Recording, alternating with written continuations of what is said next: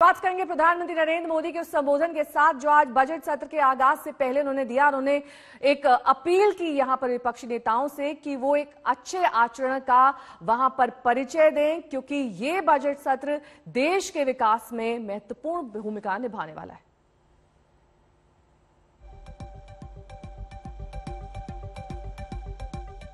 ये बजट सत्र विश्व में सिर्फ़ भारत की आर्थिक प्रगति, भारत में वैक्सीनेशन का अभियान, भारत की अपनी खोजी हुई वैक्सीन, पूरी दुनिया में एक विश्वास पैदा कर रही है। इस बजट सत्र में भी हम सांसदों की बातचीतें हम सांसदों के चर्चा के मुद्दे, खुले मन से की गई चर्चा, वैश्विक प्रभाव का एक महत्वपूर्ण अवसर बन सकती है। मैं आशा करता हूँ कि सभी आदरणीय सांसद, सभी राजनीतिक दल खुले मन से उत्तम चर्चा करके देश को प्रगति के रास्ते पर ले जाने में, उसमें गति लाने में अवश्य मदद रूप होंगे। हम पूरी प्रतिबद्धता के साथ इस बजट सत्र को जितना ज़्यादा फलदायी बनाएँगे आने वाला पूरा वर्ष हमें नई आर्थिक ऊंचाइयों पर ले जाने के लिए भी एक बहुत बड़ा अवसर बनेगा। मुक्त चर्चा हो, मननीय चर्चा हो, मानवीय संवेदनाओं से भरी हुई चर्चा हो, अच्छे मकसद से चर्चा हो। सरकार आम लोगों को, हिंदुस्तान के आम लोगों को गुमराह करते हैं। सदन को गुमराह करते हैं, खासकर सुप्रीम कोर्ट को भी गुमराह करते हैं। ये नैतिक अपराध है, इसके खिलाफ तो प्रिविलेज मोशन लाना चाहिए, इसलिए लाया। यार स्पीकर से मैं ये दरखास्त करूँगा, इसको मतलब सदन में इस विषय पे चर्चा करने का मौका दिया जाए, इस प्रिविलेज मोशन को तवज्जो दिया जाए। ये जो प्रिविलेज मोशन में कोई दम नहीं है, क्योंकि ऑलरेडी मैटर कोर्ट पे, सुप्रीम कोर्ट में है। सुप्रीम कोर्ट इसका देखभाल कर रहे हैं इन्वेस्टिगेशन कर रहे हैं। अभी सुप्रीम कोर्ट जब इन्वेस्टिगेशन कर रहे हैं किसी को भी अभी कमेंट करना ठीक नहीं है इसीलिए मैं भी कमेंट नहीं कर जो प्रिविलेज मोशन दिया है वो सर? प्रिविलेज मोशन वो तो प्रोसेस में जाएँगे। तो देने तो हम देखेंगे। अभी तो मुझे तो मुझे तो नोटिस नहीं मिला है। मैंने तो नोटिस नहीं देखा हूँ। जब मैं नोटिस देखता हूँ मैं बात करता प्रोसेस एक बहुत बड़ा मुद्दा है जो हमारे डेमोक्रेटिक ढांचे को कमज़ोर कर रहा है। हमारे फ्रीडम ऑफ़ स्पीच को कमज़ोर कर रहा है हमारे आज़ादी छीन ले रहा है और लोगों के जितने भी है प्राइवेसी है वो भी छीन ले रही है। इसके लिए तो हम पूरे लोग एक होके पहले भी लड़े हैं अब भी उसके बारे में लड़ेंगे देखिए पेगासिस की पीटी पट कथा पर पार्लियामेंट में जो पंगे का प्रयास है वो शुद्ध रूप से जिस तरह से फुकी हुई बंदूक और छुटे हुए कारतूसों से मिस फायर करने का पराक्रम करना है। जिस मुद्दे पर बार बार संसद से लेकर के और सड़क तक चीज़ें स्पष्ट हो चुकी हैं, आप फिर से वही पेगासस के पिटे हुए मुद्दे को लेकर के और अपना पॉलिटिकल पराक्रम दिखाने की कोशिश कर रहे हैं। दिक्कत ये नहीं है। दिक्कत ये है कि ये लोग ऐसे जासूसी के जेम्स बांड हैं, जो रिटायर होने के बाद भी इनको जासूसी जासूसी का भूत इनको जो है वो समय समय पर जो है परेशान करता है। उत्तर प्रदेश चुनाव में आज यूपी से लेकर पंजाब तक हाई प्रोफ़ाइल नामांकनों का दौर है। कुछ ही देर में समाजवादी पार्टी के अध्यक्ष अखिलेश यादव करहल सीट से नामांकन पर्चा भरने वाले हैं और समर्थकों के साथ वो मैनपुरी इस वक्त पहुँच चुके हैं। पंजाब की अगर बात कर लें, वहाँ पर आज एक साथ कई दिग्गज नामांकन पर्चा दाखिल कर रहे हैं। पंजाब के मुख्यमंत्री चन्नी भदौर से नामांकन करा रहे हैं। आपको बता दें कि चन्नी इस बार दो सीटों से लड़ रहे हैं। उनकी दूसरी सीट चमकौर साहिब है। पंजाब के पूर्व मुख्यमंत्री कैप्टन अमरिंदर सिंह भी आज पटियाला से अपना नामांकन भरने वाले हैं। इन सबके बीच प्रकाश सिंह बादल ने लांबी से अपना नामांकन पर्चा भरा है। कुछ ही देर में उनके बेटे सुखबीर सिंह बादल भी अपना पर्चा दाखिल करने जा रहे हैं।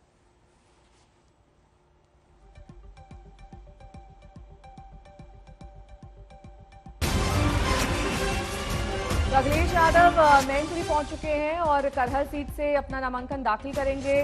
पहली बार विधानसभा चुनाव लड़ने जा रहे हैं। इससे पहले लोकसभा सांसद रह चुके हैं, लेकिन लोकसभा सदस्यता त्याग कर अब इस बार किस्मत आजमाएँगे। विधानसभा चुनाव में अखिलेश यादव को पूरा यकीन है कि इस जगह के लोगों का प्यार उनके साथ बना रहेगा, बरकरार रहेगा, और ऐसे में देखना ये दिलचस्प होगा कि आज जब वो नामांकन दाखिल करने पहुँचते हैं तो कितना लंबा चौड़ा हुजूम उनके साथ होता है।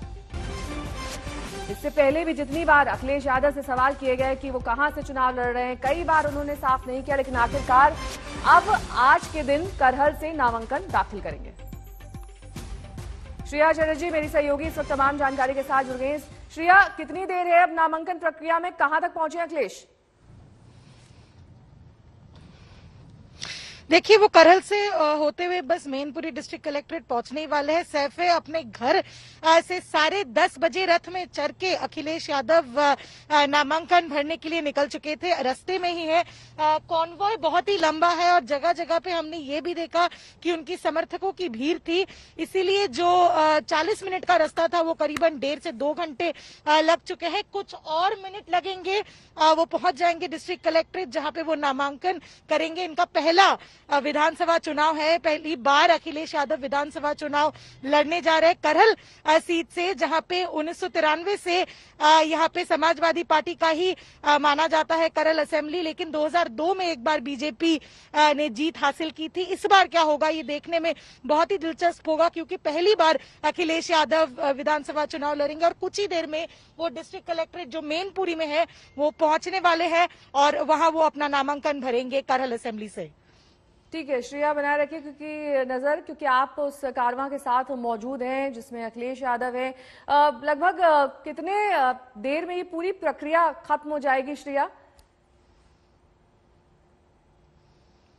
देखिए, साढ़े दस बजे वो निकले थे। ये आशा तो हमारी थी कि वो बारह बजे तक पहुँच जाएँगे, लेकिन रास्ते में जगह जगह रुकने के कारण वो थोड़ा विलंब हुआ और करीबन पंद्रह मिनट और लगेंगे डिस्ट्रिक्ट कलेक्ट्रेट पहुँचने में। अगर हम किलोमीटर और गूगल मैप्स की बात करें, लेकिन यहाँ पे आप देख सकते हैं कि कॉन्वॉय के कारण कैसे बहुत सारे इनके समर्थक आने के कारण भीड़ भी बहुत ज़्यादा है। तो इसके कारण जो डीले हो रहा है रास्ते में चलने के लिए, थोड़ा और पंद्रह मिनट शायद लगेंगे, लेकिन उसके बाद वो डिस्ट्रिक्ट कलेक्ट्रेट पहुँच जाएँगे मेनपुरी जहाँ पे वो नामांकन भरेंगे।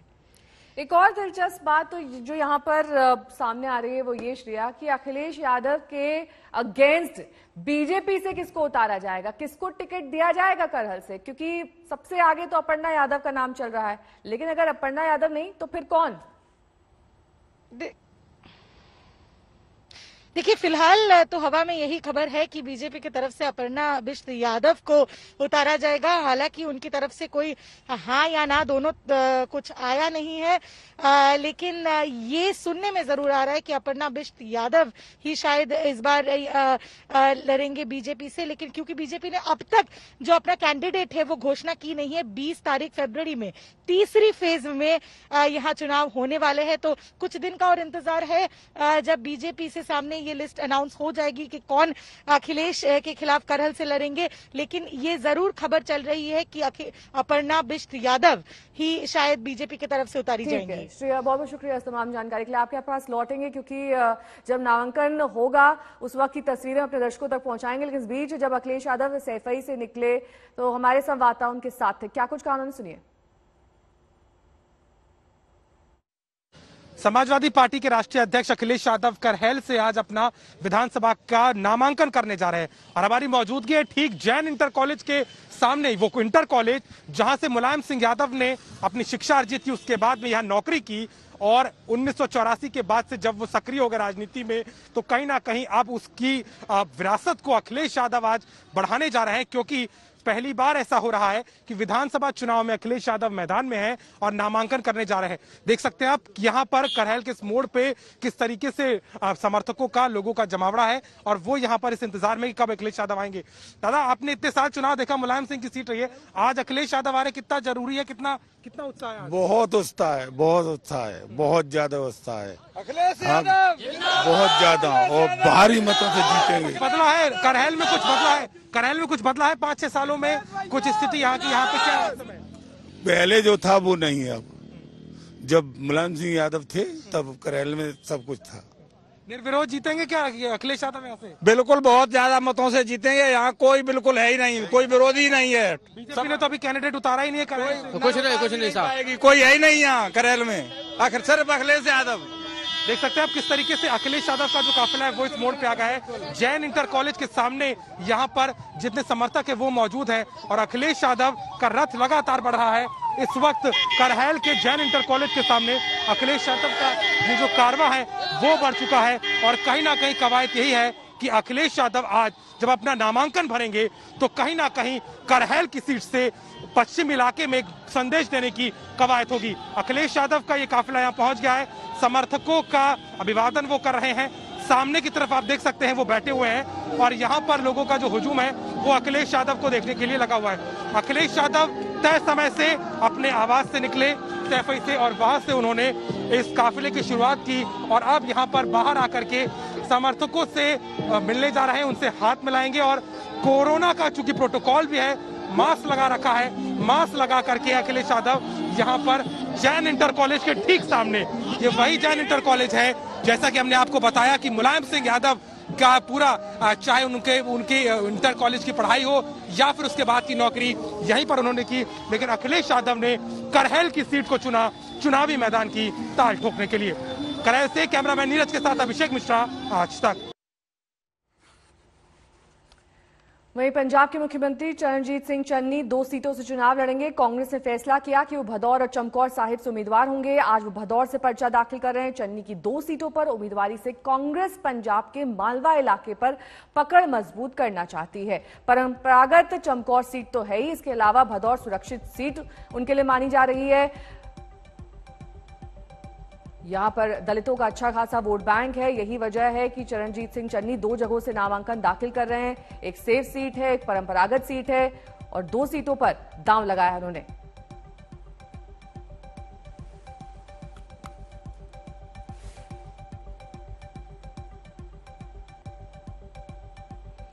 सुखबीर सिंह बादल ने भी नामांकन भरा है।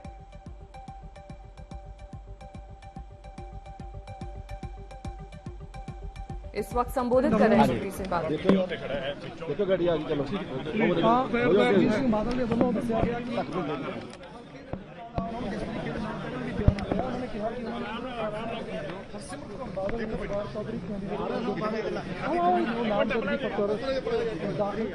इस वक्त की तस्वीरें हम आपको दिखा रहे हैं जब सुखबीर सिंह बादल नामांकन दाखिल करने के लिए पहुँचे और ये उनके साथ उनकी पत्नी हरसिमरत कौर बादल अपनी परंपरागत सीट से वो नामांकन दाखिल करते हुए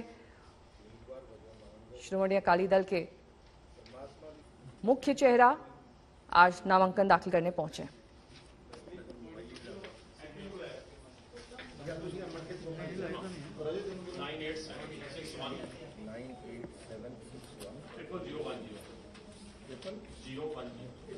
जलालाबाद से पर्चा भरते हुए और अब से कुछ ही देर पहले की तस्वीरें हम आपको दिखा रहे हैं, जब पंजाब में सुखबीर सिंह बादल नामांकन दाखिल करने पहुँचे थे। आज वो अहम दिन पंजाब के लिए, जब दो बड़े चेहरे यहाँ पर नामांकन दाखिल करने वाले हैं, एक सुखबीर सिंह बादल, दूसरा चरणजीत सिंह चन्नी।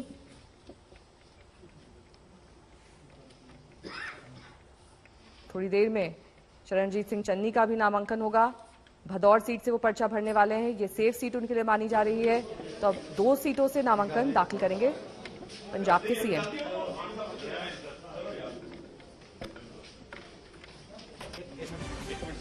कमलजीत संधू मेरी सहयोगी इस वक्त तमाम जानकारी के साथ जुड़ गई हैं। कमलजीत बेहद अहम दिन। आज दो मुख्य चेहरे नामांकन दाखिल कर रहे हैं। एक ने तो कर दिया है और दूसरा चन्नी को लेकर ये अ, काफ़ी सरप्राइजिंग फैक्टर था। दो जगहों से वो नामांकन दाखिल कर रहे हैं। एक तो परंपरागत सीट है और दूसरी सेफ़ सीट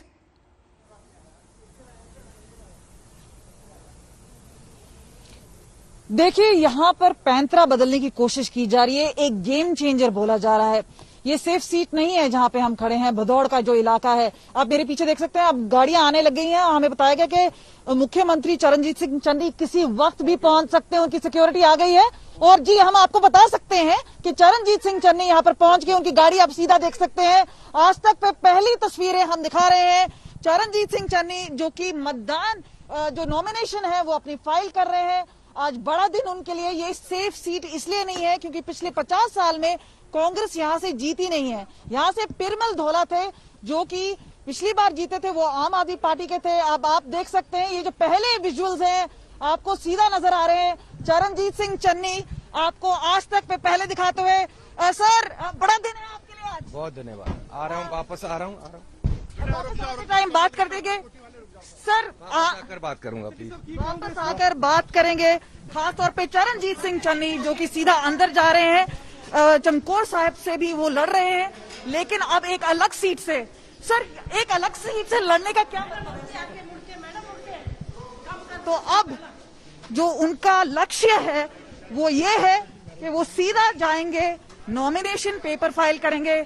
आपको आज तक पर सीधे तस्वीरें दिखाते हुए आज एक बड़ा दिन मुख्यमंत्री चेहरा अगर वो घोषित होते हैं तो ये क्या गेम चेंजर मानी जाएगी? आप देख रहे हैं किस तरह से चरणजीत सिंह चन्नी अब अंदर जा चुके हैं। आज तक से सीधा बात करते हुए और नॉमिनेशन पेपर हैं, वो फ़ाइल कर रहे हैं। आज अगर हम बात करें, जितने लोग हैं, आप आपको तस्वीरें सीधा दिखा रहे हैं हम यहाँ से वो सीधा एसडीएम टापा के पास जाएँगे। जहाँ पे वो नॉमिनेशन अपने फ़ाइल करेंगे। भदौड़ का जो इलाका है, वो बरनाला में पड़ता है। मालवा का ये जो इलाका है, ये गेम चेंजर माना जाता है। 117 कॉन्स्टिट्यूंसीज ही पड़ती हैं और उसमें उनहत्तर जो सीट्स हैं, वो मालवा से हैं। और इसलिए कांग्रेस की यहाँ पे सीधी टक्कर है आम आदमी पार्टी के साथ। शुक्रिया बहुत बहुत